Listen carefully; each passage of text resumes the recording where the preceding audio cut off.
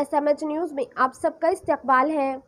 जहीराबाद में मुसलमानों के लिए एक करोड़ रुपए की लागत से मिनी हज हाउस और एक करोड़ की लागत से मुस्लिम शादी खाने की मंजूरी और ज़िला collector doctor A Sharad Kumar की जानब से इस खसूस में अहकाम और जहीराबाद में अराजी के मुआयने पर जहीराबाद टी आर एस अकलती कायदीन जनाब सैयद मोहुद्दीन शेख फरीद, रुकन आमला, मोहम्मद तंजीम अहमद, सबका नुमाइंदा चेयरमैन बल्दिया, जहांगीर कुरैशी सबक कौंसलर बल्दिया अब्दुल्ला ने रुकन असम्बली जहीराबाद के मनिक राव से मुलाकात करके इन्हें तहनीत पेश करते हुए इजहार ममनूत करते हुए कहा कि रियासती हुकूमत ने जो वादे अकलीतों के साथ किए, इस पर अमल आवारी के लिए पाबंद अहद है। इन्होंने मुस्लिम मिनी हज हाउस और शादी खाने की मंजूरी पर रियासती वज़ीर finance T Harish Rao MP Zaheerabad BB Patil रुकन असम्बली जहीराबाद के मनिक राव से इजहार ममनूत इजहार तशक्र किया। आइए देखते हैं ये खास खबर। हर अहम और ख़ास खबर के लिए हमारे news channel S M H news को यूट्यूब पर सब्सक्राइब करें फेसबुक पर लाइक करें इंस्टाग्राम और ट्विटर पर फॉलो करें।